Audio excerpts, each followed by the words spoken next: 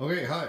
Uh, we're going to attempt to describe how I made a vacuum maple syrup filter, and it seems to work pretty good.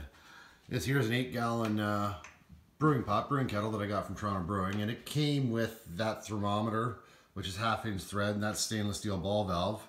I'll show you some of the parts later. I put that on for easy bottling and to bring it up to temperature when I bottle. Um, it's held together with uh, four of these clamps, these little uh, over-center clamps. I got those off of uh, Amazon.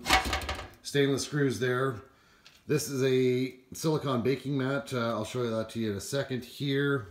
This pot, the bottom one is from Toronto Brewing. This top one I just hunted around and found this one here from uh, Walmart in town.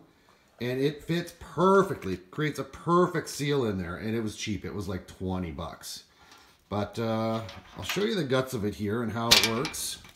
These just pop off Oh, here's the vacuum port back here. You can see it's all stainless and that just goes into the vacuum and it that works pretty good.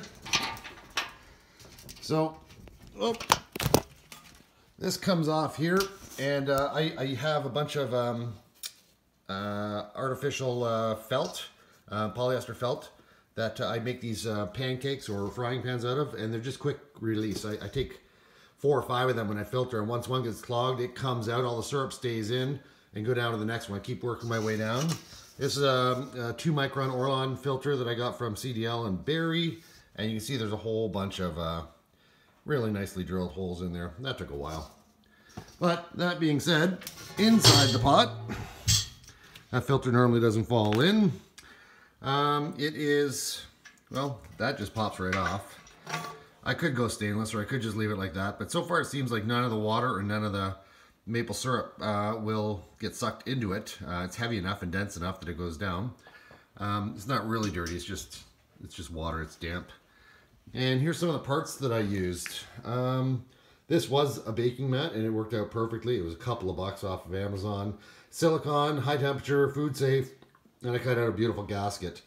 These little bulkheads I also got from Amazon. Uh, one inch threaded stainless. They seem to work like a charm. They're counter threaded. This I got from my local home hardware. They got everything. Um, these little uh, 90 degrees I got off of Amazon, same thing, or my home hardware, they have them as well. Super cheap and uh, makes for a really nice bottling. But that's all it is.